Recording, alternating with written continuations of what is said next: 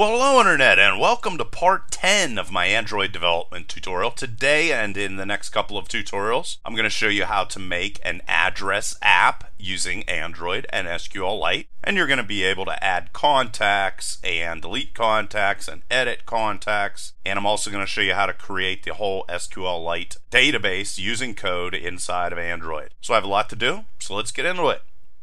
Okay, so here I am inside of Eclipse, and I need to come over here, of course, and I'm going to have to create myself a new project. So I'm going to go New, Android Application Project, and I'm going to call this Address Book App. Pretty simple. And I'm going to change this to my web address to avoid any conflicts. Of course, you could put your name in there if you don't have one of those. And I'm going to leave everything else here exactly the same. Come down here, hit next, and then I'm going to leave all of these different things also exactly the same as they are. And on the next screen, I'm going to leave the logo exactly the way it is. And next, and I'm going to leave blank activity exactly the way that it is. And then hit finish. And there you can see Address Book app has been created and you're going to see all the folders that we were used to seeing inside of here. And the very first thing I'm going to do is come down here. There you can see layout. I'm going to get to that in a second. But first I'm going to come down into values. And the very first thing I'm going to open is the dimensions.xml file and also the strings.xml file.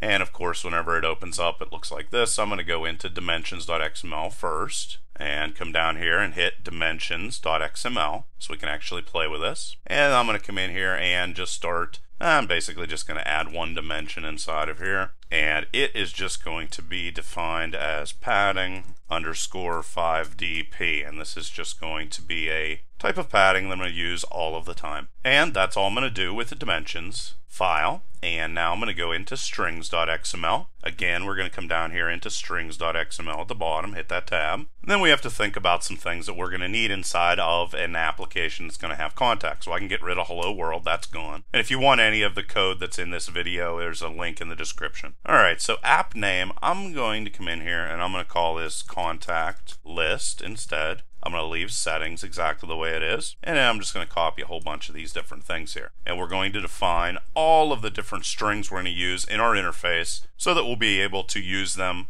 both for translation and also this allows us to really be able to come in here and make some easy changes. Now what did I say? I said we're going to be able to add a contact. So I'm going to need something that says add contact on it as a title. Another thing I'm going to need is first name because they're going to be able to enter their first name. And I'm just going to put first name inside of here. And I'm taking it a little bit slow because some people asked me to do a little bit slower tutorial than what I normally do just to make sure all this stuff's ingrained. Last name, and again these are going to be used on the interface here in a second. I'm also going to need phone number. In here and type phone number. Also going to need email address and home address. And all of this information is going to be stored inside of the database. And for this, I'm just going to put address, just plain and simple. Okay, some other things I'm going to need. Well, if I want to be able to list my contacts out on the screen, I'm going to need a title for that. And I'm going to call this contacts title. And we'll come in here and just type in contacts. Another thing, if I want to be able to add a contact, well, I'm going to need some sort of button that I'm going to click on or the user is going to click on when they want to add a contact. So I'm just going to call this the add button. And I'm going to put add in uppercase letters. And I'm also, I know I'm going to need to save the contacts. So I'm just going to call this save data.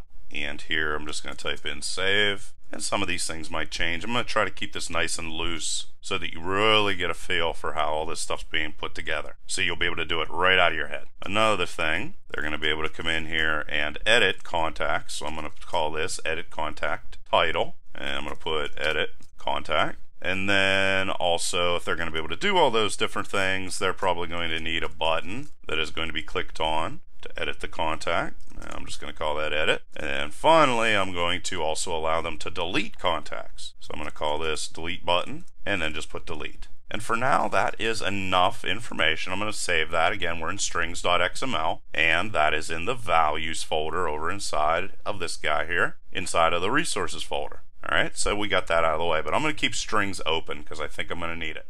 Well, now we're going to get into activity main, and you can see it's throwing some errors, but that's okay. Let's get rid of that. Well, we definitely want to get rid of hello world. That's gone. That's the reason why it was throwing an error anyway. And we definitely don't want to print that. Now for this guy, I want to use a table layout. So I'm going to type in table layout there instead of relative, which is what it was previously. And the reason I'm using table layouts is I think for beginners they're a lot easier to use. And I'm going to leave a lot of this exactly the same, except I'm going to come in here and get rid of all this padding nonsense. And whenever you're going to be using a table layout, you're going to be creating a whole bunch of table rows. So I could do it in a couple different ways. I could actually create it out here, come down, click on graphical layout, and there you can see that it opened up for me and then come down here where it says layouts and open that up and then you're going to see table row is going to be an option for that and I'm just going to grab that guy and drag him over here and drop him inside of the table layout.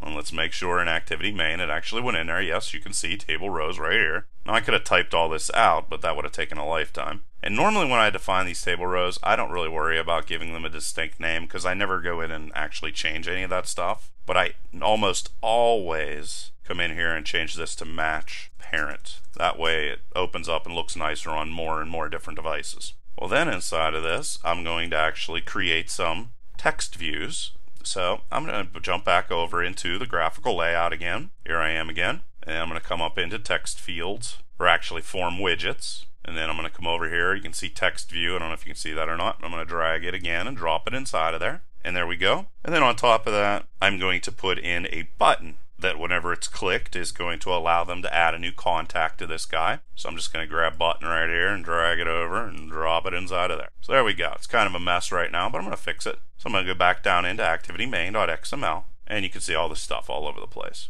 Well, I'm going to come into text view, and this guy's going to do quite a bit of different things. This is going to be the title that's across the top of the screen. So I'm going to call this contacts, title, text, view, give it a nice descriptive name so I know exactly what it is whenever I look at it. I'm going to leave these both as wrap content. That works perfectly because I have my table row that's handling matching the parent and making sure that everything fits inside of it. But I'd also like to be able to come in here and put some text inside of it. Jump out into the graphical layout again. And I'm actually going to do a couple other different things. Like, for example, you can see that this is butting up next to this, so I want to add some padding to it. So what I'm going to do is go in here and look for margin left over here on the right side of the screen. And you're actually going to be able to find that by going into layout right here and clicking on this and then coming into margins and clicking on that. And there you can see. And margin left I'm going to click on this and I'm going to switch this over to the padding 5dp just uh, it's a little bit sloppy but whatever it works. And there you can see now it looks perfectly fine Next thing I want to do is actually put in a title for this guy. And to do that, collapse all this stuff. And you can see right here, text, text view. I'm going to come in, click on that, and then all this stuff is going to open up inside of here.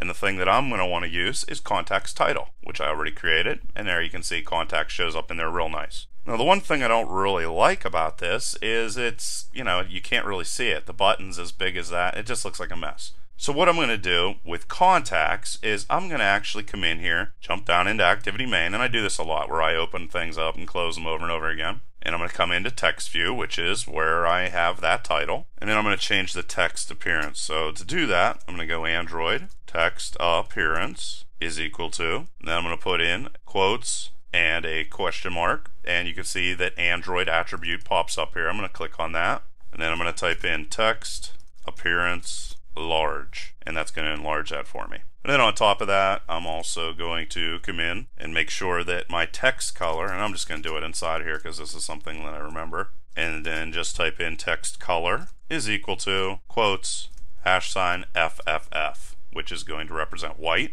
And then on top of that, I'm also going to come in and make sure that this guy stretches to fill as much of the screen as possible. And to do that, I'm going to go layout, weight is equal to 1. Now the only problem is, is the button isn't fitting in there and it's actually jumping down to the next row. So how exactly do you fix that? Well, there's a couple other things I want to do as well. I'd like to change my background, and of course you can do this on the other screen. It's just, if you remember background, why not just type it in? Which is what I find myself doing a lot. And then inside of here, I'm going to just use like a gray. So just a whole bunch of fours. Then on top of that, I'm going to want this button to trigger a function or a method to be called whenever it's clicked. Rather than putting that all inside of my code like I have done previously. And to do that, you're going to go on click just like that. And then you're going to reference a method that is going to be called when this button is clicked. And I'm just going to put show add contact inside of there and I'll create that later on. And for layout width and height, I'm actually just going to come in here and delete all this altogether. Don't need those. And then for text, I'm going to change that to one of the guys that I had previously defined. And then I'm also going to just save myself some time, copy the text color from this, paste that in there. And then let's jump over into graphical layout and see what we got. And now you can see the button fits right inside of that. So I'm going to select my button and come over here in my text area. Click on this where it says button. And then I'm going to come inside of here and I'm going to look specifically for add button. And you're going to see that changed to an add. I'm also going to bounce over here to activitymain.xml, come down into the button area, and I'm going to change the text size on this guy. Just go Android text size is equal to 20 SP and that's going to allow it to change and grow as the screen size grows on it. And actually I want to go in here and actually move this padding down out of this guy and put it inside a text view. I think it feels better there. I'm put that right after wrap content. And I'm also going to copy and paste this guy right here. Jump up here inside a table row and change the background color to this whole entire thing to black. One, two, three, if I'll save. And there you can see contacts and add have been added to our table layout. So now what I'd like to do is to be able to list all these contacts out on the screen. And this time what I'm going to show you how to do is how to create what is called a list view. And then what we're going to do is populate that list view later on with all of the contact entries that we have in our database. Now to create that, of course, we're going to come into layouts again, click on that and open that up. Then we're going to go into table row and I'm just going to grab that table row again, drop it inside of there, and then come down into activity main again just to make sure that everything's sorted out. And there you can see table row is again. And I'm going to change this to match parent so that it stretches across the whole entire screen. I'm going to leave everything else exactly the same. Jump back into the graphical layout and then I'm going to come down here to where it says composite. Click on that, come up here, and then you are going to see list view. And I'm going to drag list view over inside of that table row and drop it inside of there and you can see it populates with some garbage sort of content. I'll save that, bounce back into activity main, come down inside of here, make sure everything lines up beautifully. I'm just going to change this to list, just get rid of that. Match parent, wrap content, all look fine to me, except I want it to stretch the whole way across the screen and anytime I want to do that I'm going to go and set the layout weight to 1 right like that. So now it's going to stretch across the screen. If we file save, you can see, see, fills the whole entire screen. Blue dot, blue dot, before the list view is kind of constrained. Come back inside again. And that is basically all that we need to do with that guy. So there we go. We have our activity main.xml file set up. We have a whole bunch of strings set up and some dimensions as well. And the next thing I'm going to do is come over here inside of layout and create another activity. Now this activity is actually going to be all of the entries that are going to go in the list view. So new, and I'm going to come down inside here and see if I have Android XML file. Yes, I do. Click on that, and there it is. And I'm going to call this guy contact underscore entry. And this guy is actually going to be a table row. So I'm going to scroll through here until I see table row and select that. Click on next. Don't worry about any of this and click on finish. And there we go. We have this brand new contact entry.xml file. And like I said, all of these guys are going to be inserted into our list view. So we come in here and see what we need to change. Table row, that's all fine, that's all fine. Width, I want this to be fill parent to make sure that it fills the list view whenever we put it inside of there. Height, I actually want this to be wrap content. Got that set. And then inside of it, what I'm going to put are all of the text views that are going to contain information that I pull from my database. So I'm actually going to go into the graphical layout and I'm going to come in here again. There's text view. We're going to drag it down, drop it inside of there. And then we're also going to grab another text view and throw that inside of there. What this is going to be whenever it's all done is just a list of your contact names. But for now, I'm just going to leave it that way. Now, let's say that I wanted to go and put some information here on our screen, like the contact's ID. But I didn't want it to show. Well, first what we're going to do is get the busy work out of the way, and that's going to be fill parent, and wrap content's perfectly fine. And then whenever we come down here to the text area, well, it's not going to show on the screen, so we don't even want that there. Instead, what I'm going to do is I'm going to make the visibility equal to gone. and that way it won't show on the screen, but that information will still be there. So that's one way to put some information there without having it actually display on the screen. I do, however, want my contact's name to show up on the screen, so I'll be able to sort through and find the right contact. So for ID here, I'm actually going to change this into contact name layout width. Again, I'm going to change this to fill parent and then wrap content's going to be perfectly fine. And if I want to come in here and change my padding again, that I'm actually going to do over in the graphical layout. And you can see there's only one text view here now. We click on that text view. We can come over here and look for our padding. And there's padding right there. Come over there, click on it. And let's just change this to padding 5dp just like before. So that moved it in off the left side of the screen a little bit. Also come in here and let's say I wanted to change my text color.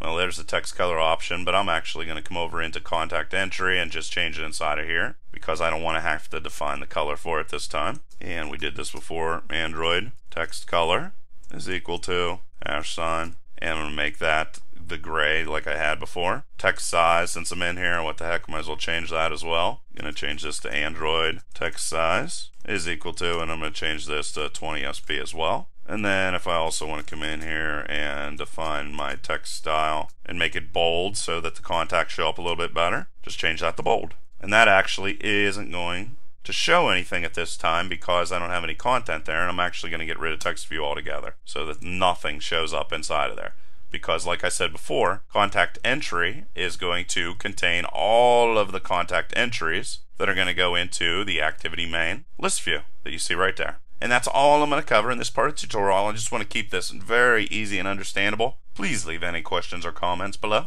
Otherwise, till next time,